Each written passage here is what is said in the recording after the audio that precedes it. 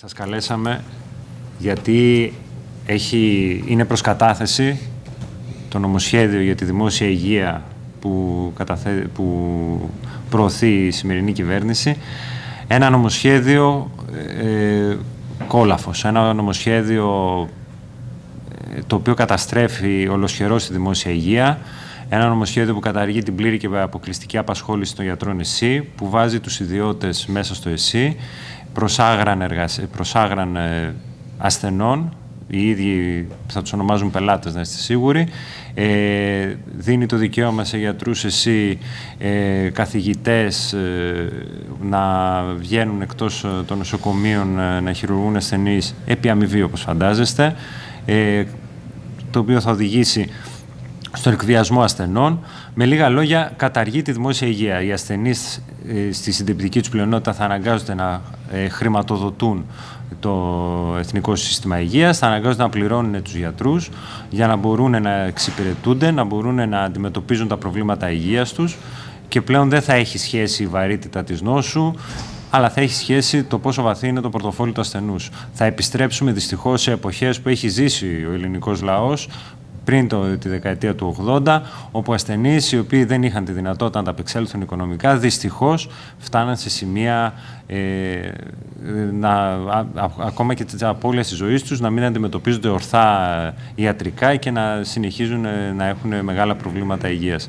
Δυστυχώς, θεωρούσαμε ότι έχουμε ξεφύγει από αυτές τις εποχές με αυτό το νομοσχέδιο επιστρέφουμε εκεί. Επιστρέφουμε εκεί μετά από όλα αυτά τα χρόνια, τις δεκαετίες που έχουν περάσει, που όλες οι προηγούμενες κυβερνήσεις το μόνο που φρόντισαν είναι να απαξιώνουν το ΕΣΥ, να το υποχρηματοδοτούν, να μην κάνουν προσλήψεις, ε, όταν κάνουν να τις κάνουν ούτε κάνουμε το σταγονόμετρο, ε, να, να έχουμε φτάσει σε ένα σημείο να υπάρχουν ε, μέσα στο νοσοκομείο διάφορες ε, κατηγορίες εργαζομένων, ελαστικά εργαζομένων με μπλοκάκια, με προγράμματα ΟΑΕΔ, επικουρικούς, μόνιμους, ημιμόνιμους και φυσικά η εξέλιξη όλης αυτής της απαξίωσης ήταν το σημερινό νομοσχέδιο το οποίο τελειώνει με κεφαλαία γράμματα το Εθνικό Σύστημα Υγείας θέλουμε να, ε, να το κοινοποιήσουμε σε όλο τον ε, λαό ότι αυτό το νομοσχέδιο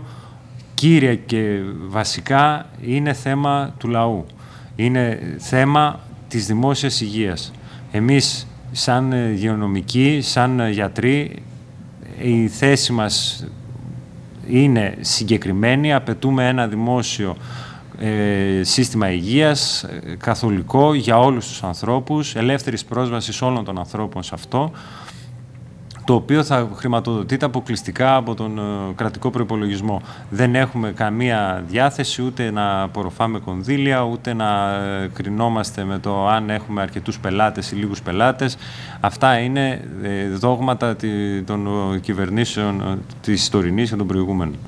Ε, θέλουμε λοιπόν να, και με αφορμή, θέλω να πω, με αφορμή τις δηλώσεις σήμερα του κυρίου Πλεύρη που καταδικάζει ε, άθλιες δηλώσεις, οι οποίες καταδικάζει τους ε, γιατρούς ε, στο ότι οι ελάχιστοι συμμετέχουν, ότι μόνο οι συνδικαλιστές οι οποίοι δεν εκφράζουν τον, ε, τον, τους γιατρούς φωνάζουν και άλλα τέτοια όμορφα που συχνά αναφέρονται και ο συγκεκριμένος και άλλοι υπουργοί της κυβέρνησης θέλω να ξέρει ο κόσμος ότι όλοι οι ιατρικοί σύλλογοι της Ελλάδος, ο Πανελλήνιος Ιατρικός Σύλλογος, όλες οι ενώσεις ιατρών, ιατρών όλων των νομών της Ελλάδος, η Ομοσπονδία Ενώσεων Νοσοκομιακών Γιατρών Ελλάδος, η ΠΟΕΔΗΝ, όλοι οι σύλλογοι εργαζομένων σε όλα τα νοσοκομεία της Ελλάδος, η ΑΔΔ και δεν μπορώ να φανταστώ πόσοι ακόμα,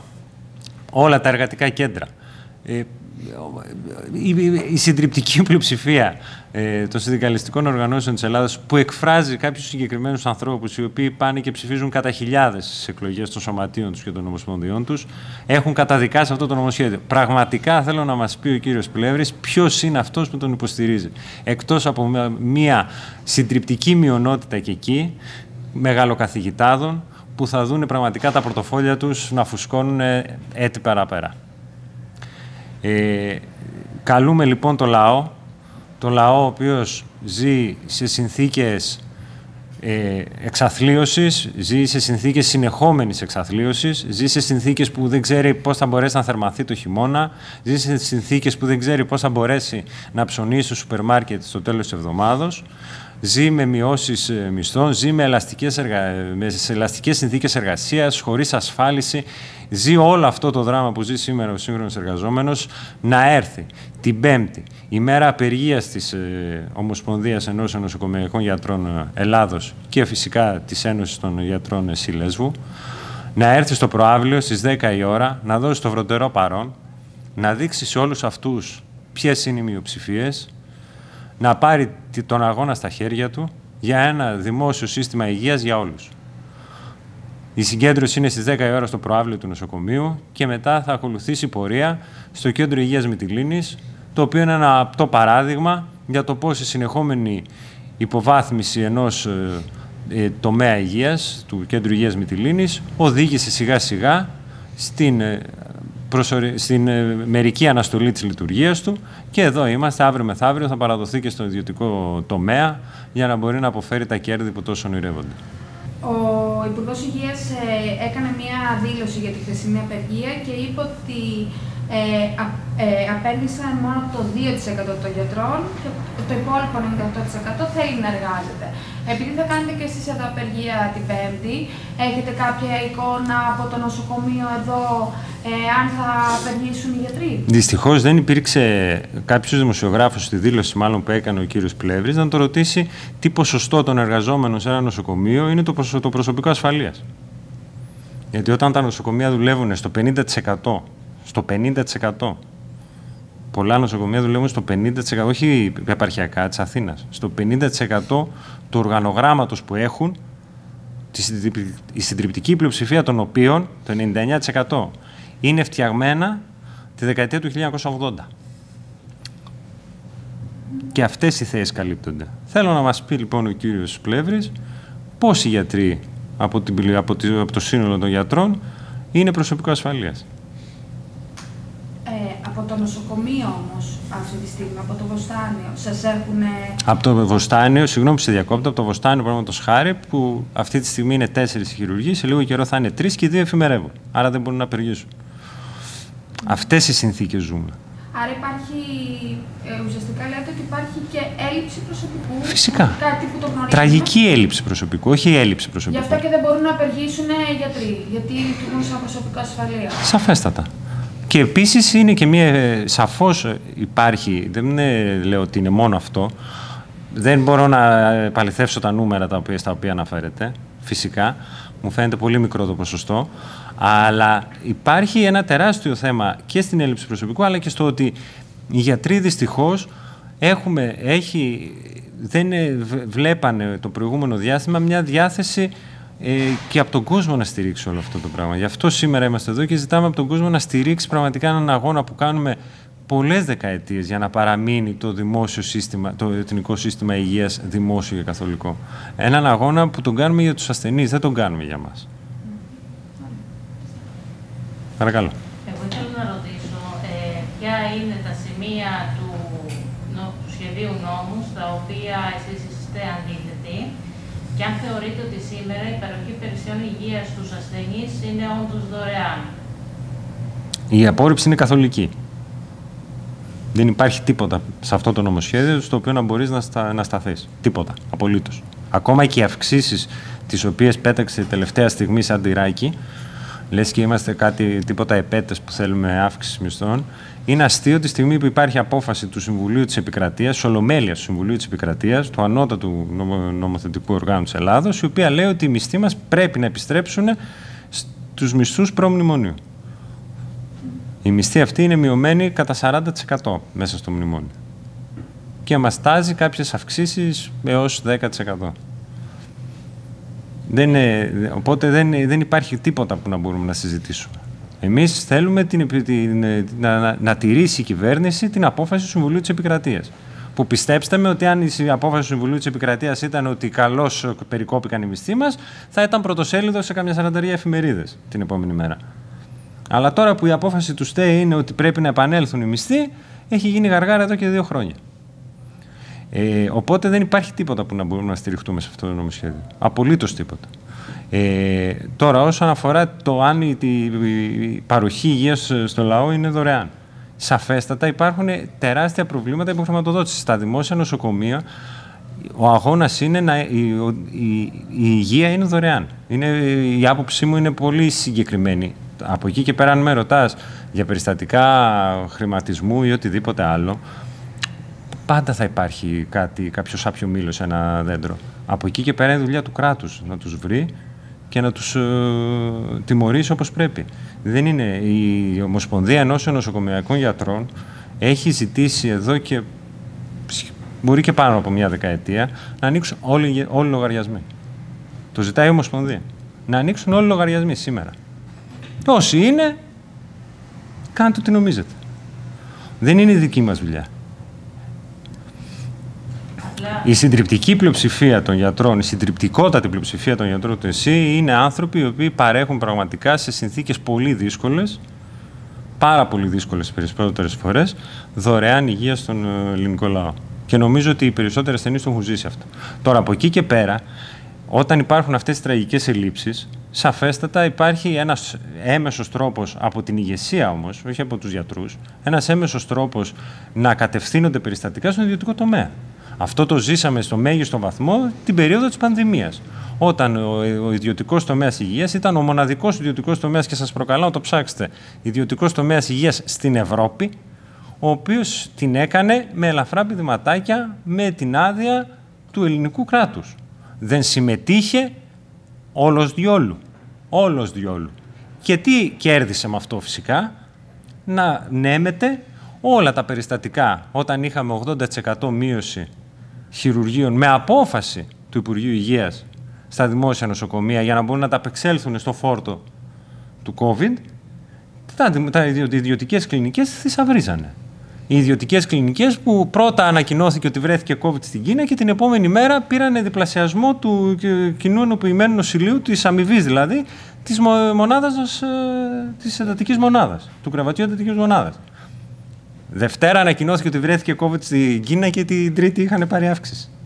Αυτός ο ιδιωτικός τομέα λοιπόν που παρασιτεί και τα έχει βρει με την κυβέρνηση όπως φαίνεται, σαφέστατα φροντίζει για την υποστελέχωση, υποχρηματοδότηση και απαξίωση του εθνικού συστήματος υγείας, γιατί μετά θα πας αναγκαστικά σε αυτούς. Όταν δεν υπάρχουν οι δυνατότητες να κάνει ακτινοθεραπεία σε ένας ασθενής, γιατί δεν υπάρχουν οι κλινικές, δεν τις έχει εξοπλίσει, δεν έχει τους απαραίτητους γιατρούς, δεν έχει τα απαραίτητα μηχανήματα, τι θα κάνει το ταλέπορο στο καρκινοπαθής; Θα πάει έξω. Το νοθεί να πάει έξω.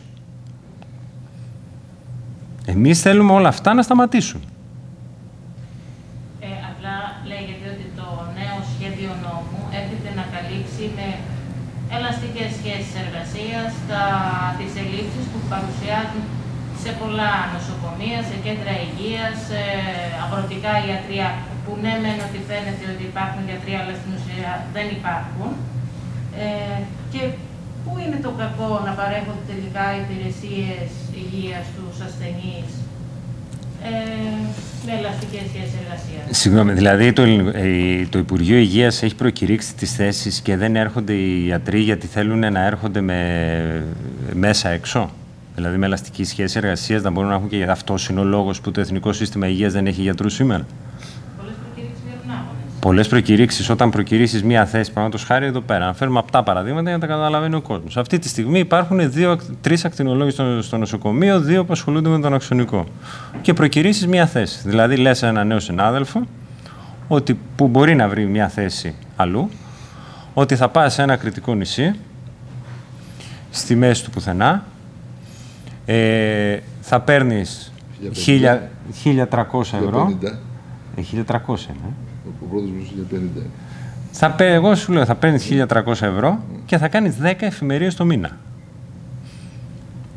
Γιατί να έρθει; Σε ένα φυσιολογικό ευνομούμενο κράτος, θα έλεγες ότι έχω 5 θέσεις ακτινολόγων, προκυρήσω τις δύο κενές θέσεις και έρχονται δύο άνθρωποι οι οποίοι θα ξέρουν εκείνη τη στιγμή ότι μαζί με τους υπόλοιπους συναδέλφους θα κάνουν 6 εφημερίες 7 το μήνα και θα είναι μια βιώσιμη ζωή. Άρα το να βγαίνει άγωνη μια θέση που είναι άλλος ένας συνάδελφος και στέλνεις ένα συνάδελφο και του λες ότι θα κάνει 15 και δεν είναι και κανένας. Και τον στέλνεις και του λες ότι 30 μέρες θα έχεις το νους σου. Λες και δεν ξέρω ποιος το κάνει αυτό. Και βγαίνει άγωνη, λέει: Πω, πω, δεν θέλουν οι γιατροί να πάνε. Όχι, δεν είναι ζώα, δεν είναι γαϊδούρια να τα χτυπάς στην πλάτη και να περπατάνε. Είναι άνθρωποι που απαιτούν να έχουν μια αξιοπρεπή ζωή. Γιατί λοιπόν να έρθουν; Το πρόβλημα λοιπόν, όταν, και επίσης όταν αυτά τα προβλήματα τα θέτει στην κυρία Γκάγκα, όταν είχε έρθει εδώ πέρα, δεν την προκαλώ να με διαψεύσει, η ατάκα ήταν τι να κάνω; 600 θέσεις έχω για όλη την Ελλάδα. Τι εννοείς 600 θέσεις για όλη την Ελλάδα; Ποιος σου είπε ότι έχεις 600 θέσεις για όλη την Ελλάδα; Ποιος το έβαλε αυτό το νούμερο; Εγώ. Οι κακοί Ευρωπαίοι; Οι Αμερικάνοι; Οι Ρώσοι; Ποιοι το είπαν το 600. Αποφάσισε η κυβέρνηση την οποία υπηρετείς, για την οποία άφησες τη δουλειά σου στο νοσοκομείο Σωτηρία για να πας να την υπερασπιστείς και να την υπηρετήσεις, αποφάσισες ότι δικαιούνται οι γιατροί στην Ελλάδα 600 θέσεις μόνο, στις 6.000 κενές. 6.000 κενές το 22. Το 23 με τις ε, συνταξιοδοτήσεις μπορεί να φτάσουν και 7. Η κυβέρνηση λοιπόν αποφάσισε ότι πρέπει να πάνε 600. Και έρχεσαι και μου με παράπονο ότι μόνο 600 έχω. Ε, δεν μπορώ να μπω στην κουβέντα. Και η τελευταία της κουβέντα ήταν σε αυτό το νοσοκομείο, με τον τρόπο που λειτουργεί, με τις δυνατότητες που έχει, με το ότι μπορούμε και ανοίγουμε από τις πέντε χειρουργικές αίθουσες, τις τρεις χειρουργικές αίθουσες και μία οφθαλμολογική κάποιες μέρες. Το λέω οφθαλμολογική δεν απαιτεί αναισθησιολόγο και έχει μία νοσηλεύτρια, αντί για δύο που χρειάζονται σε κάθε χειρουργική αίθουσα, που ανοίγουμε πρακτικά δηλαδή τρεις κάθε, εβδομάδα, ε, κάθε μέρα από τις πέντε, τις περισσότερες, γιατί υπάρχουν και μέρες που ανοίγουμε δύο. Η τελευταία της ερώτηση ήταν δηλαδή δεν σκέφτεστε να βάζετε απογευματινά χειρουργία; Είναι ο ορισμός του ζω σε άλλο κόσμο. Δεν έχουμε αφάμε ψωμί. Εντάξει, αγοράστηκε πάντα σπάνι. Δεν πειράζει, δεν απάθετε τίποτα. Η συγκεκριμένη κυβέρνηση λοιπόν με τους συγκεκριμένους υπουργούς προωθεί αυτό το νομοσχέδιο. Δεν καταλαβαίνουν ή μάλλον δεν θέλουν να καταλάβουν ποια είναι τα πραγματικά προβλήματα του ελληνικού λαού και πράττουν και εξοφλούν γραμμάτια που έχουν σε ιδιώτες και μεγαλοκαθηγητές. Είναι συγκεκριμένη η άποψή μας. Μόνο αυτοί ωφελούνται σε κάποιο βαθμό, όχι όλοι, η πλειονότητα, η συντριπτική πλειονότητα των ελεύθερων επαγγελματιών γιατρών δεν ωφελούνται από αυτό το νομοσχέδιο και γι' αυτό δεν έχουν βγάλει και κάποια ανακοίνωση. Οι ιατρικοί σύλλογοι όλης της Ελλάδα είναι αντίθετοι με αυτό το νομοσχέδιο. Αν δηλαδή κάτι παρήχε, δεν θα βρισκόταν κάποιος να πει Ευχαριστούμε. Εγώ στην ερώτηση αυτή αδυνατό να καταλάβω πώς μπορεί ένα νομοσχέδιο με κύριο γνώμονα και προσέγγιση το κέρδος, γιατί και οι ελαστικές εργασιακές σχέσεις περιέχουν πάρα πολύ τον παράγοντα του κέρδους για τον κόσμο τον εργαζόμενο που θα έρθει να δουλέψει στα νοσοκομεία με αυτές τις σχέσεις εργασίας. Αδυνατό λοιπόν να καταλάβω πώς αυτό το νομοσχέδιο θα λύσει το πρόβλημα της περίθαλψης του κόσμου. Ίσα ίσα που αυτό που θα γίνει όταν όλοι κυνηγάνε το κέρδος είναι η περαιτέρω υποβάθμιση του δημοσίου συστήματος υγείας, η έμεση στροφή προς τον ιδιωτικό τομέα, έτσι, και τελικά η υποβάθμιση της υγείας του λαού και η δημιουργία ασθενών δύο κατηγοριών, δύο ταχυτήτων, τους πλούσιους και τους φτωχούς. Και αυτά είναι πράγματα τα οποία υπήρχαν στην Ελλάδα πριν τη δημιουργία του Εθνικού Συστήματος Υγείας. Μιλάμε για 40 χρόνια πίσω.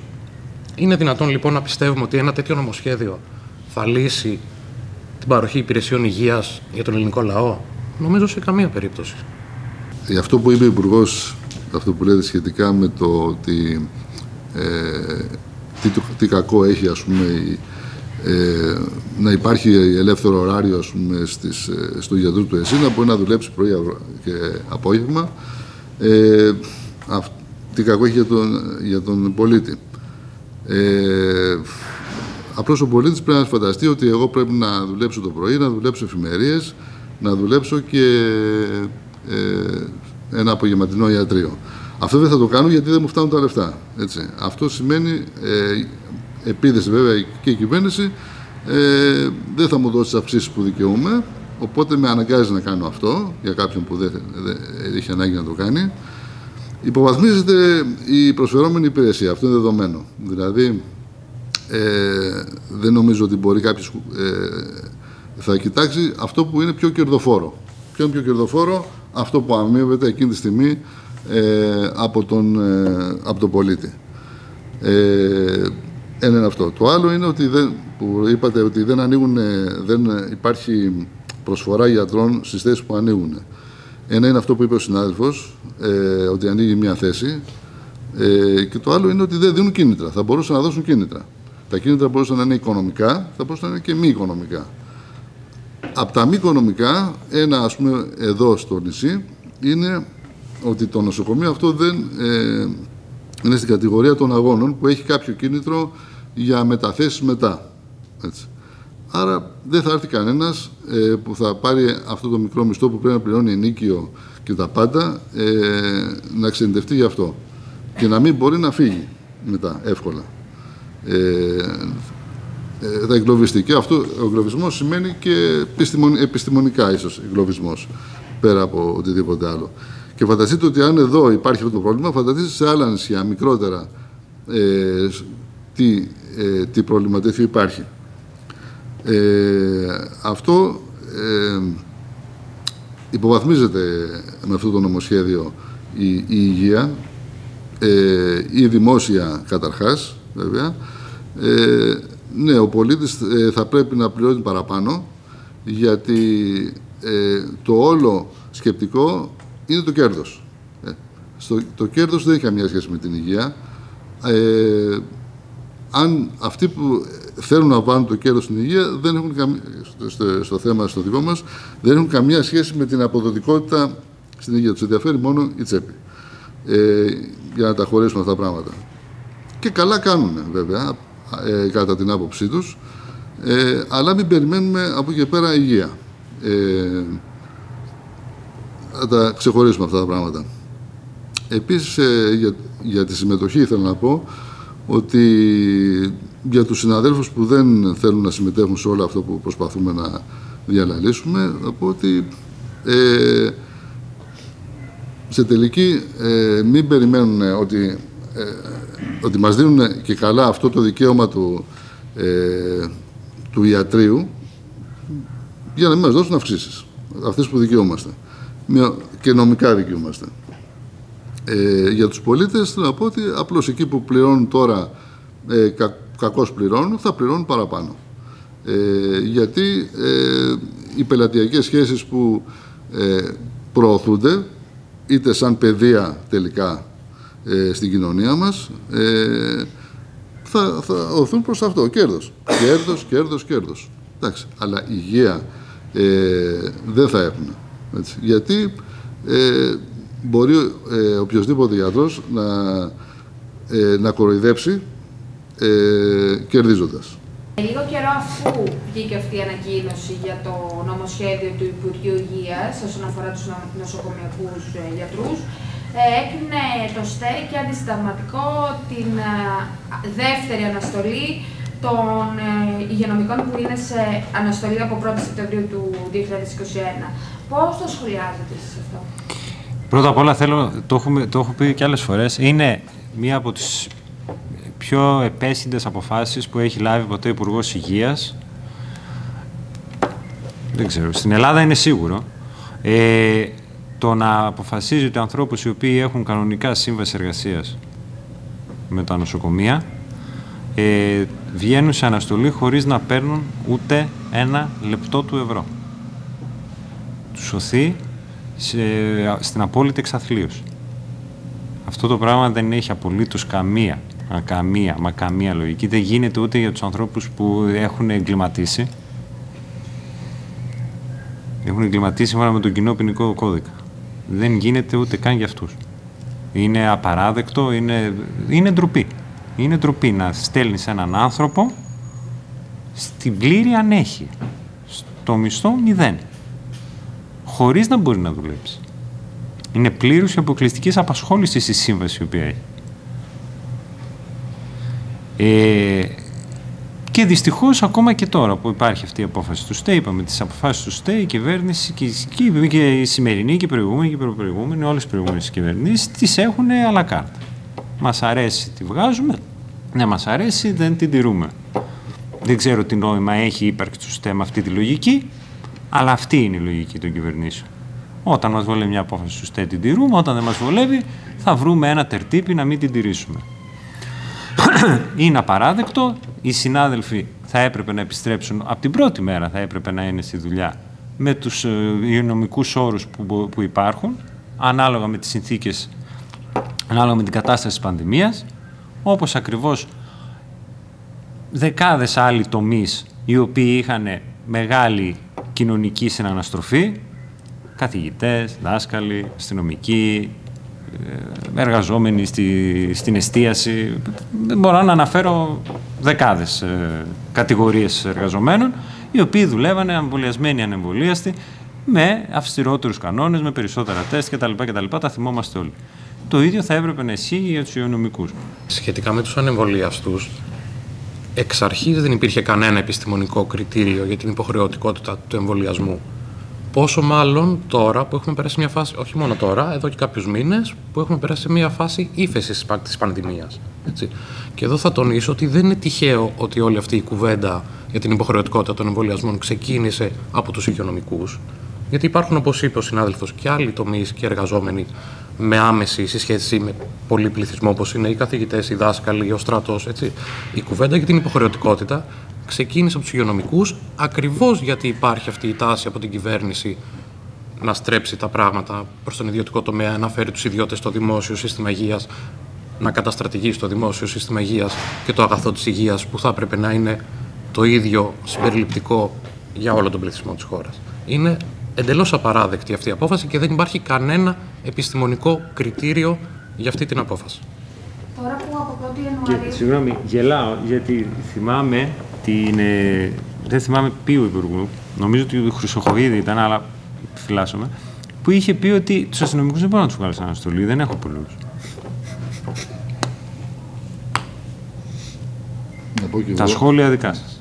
Να πω και εγώ ότι είναι, ήταν καθαρά πολιτική αυτή η απόφαση και γενικά η Ελλάδα πήρε πολύ αυστηρές πολιτικές αποφάσεις ε, σε σχέση με άλλα κράτη.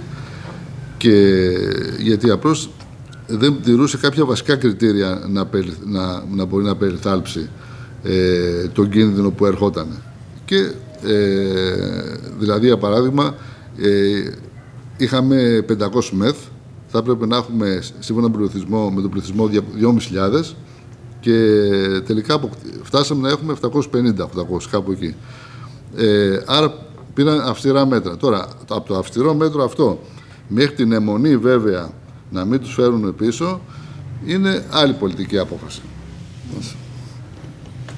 Τώρα που από 1η Ιανουαρίου θα επιστρέψουν, όπως δείχνει ο κύριος Πλέκη σήμερα, πιστεύετε ότι ε, θα ανακουφιστεί λίγο το νοσοκομείο από τις ελλείψεις των γιατρών και του υγειονομικού προσωπικού; Δεν περισσεύουν οι συνάδελφοι.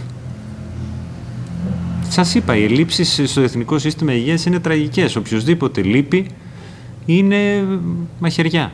Δεν, δεν φτάνουν. Άρα ούτε και τώρα δεν φτάνουν. Φυσικά και όχι. Υπάρχουν κενές θέσεις σε όλες τις κλινικές, παραδείγματος χάρη του Βοστανίου. Υπάρχουν κενές θέσεις σε όλες τις κλινικές σχεδόν όλων των νοσοκομείων της Ελλάδας. Mm-hmm. Επίσης, τελειώνοντας, θα ήθελα να πω ότι είχε, τη συνέντευξη που προηγήθηκε μια σύσκεψη σωματείων ε, που συμμετείχε το Εργατικό Κέντρο ε, Μυτιλίνη, στο αρχιακό τμήμα της ΑΔΔ, ε, σύλλογοι συνταξιούχων του Δημοσίου και άλλοι πολίτες και πάρθηκε απόφαση πέμπτη να καλέσουν και αυτοί στη συγκέντρωση στο προάβλιο στις 10 η ώρα το πρωί και μετά να συνεχίσουμε ε, με πορεία μέχρι το Κέντρο Υγείας ε, Μυτιλίνης.